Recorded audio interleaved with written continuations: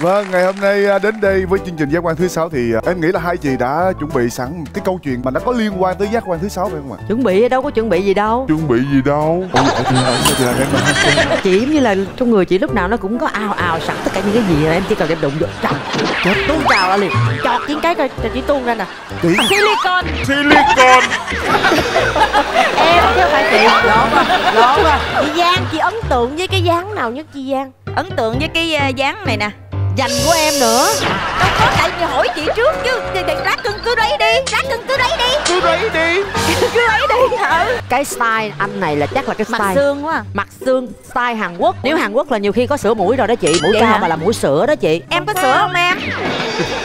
Mà nếu chưa sữa thì để chị chỉ Dẫn chỗ đi cho sữa. sữa. Chị Giang đi sữa sỉ không đó cưng à. Sao cái giọng của em nó tình cảm dễ thương quá hả? Người ta không có thích bà đâu bà ơi. Ờ hỏi thôi mà.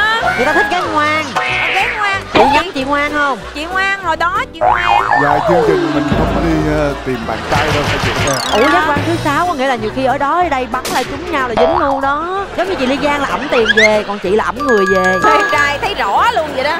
Chị Giang với một người về kinh nghiệm về phẫu thuật thẩm mỹ đầy mình như chị chị có đánh hơi được bạn này là bác sĩ thẩm mỹ không? Không hề tại vì bạn này rất là còn trẻ. Bạn này đi thẩm mỹ thì có. Bạn này đi thẩm mỹ thì có. Chị thề bao nhiêu lần với em với Trấn Thành chị nói chị không bao giờ chị làm gì nữa.